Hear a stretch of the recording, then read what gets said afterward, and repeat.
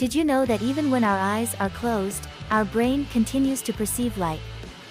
It's called closed eye seeing or closed eye visualization. This explains why we can notice certain changes in light when we're dreaming or simply closing our eyes. Moving on to taste, did you ever consider that everyone's sense of taste is a bit different? Our taste buds on the tongue help us perceive different flavors, but what's intriguing is that everyone's taste perception varies slightly.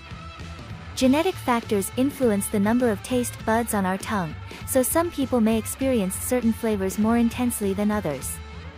And here's a fascinating fact about our brains before falling asleep, we experience a jolt.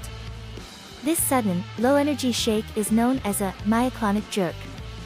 It's a phenomenon many people encounter during the transition into sleep, a kind of sleep hiccup, if you will. Though we may not fully understand why it happens, it's generally considered a normal occurrence.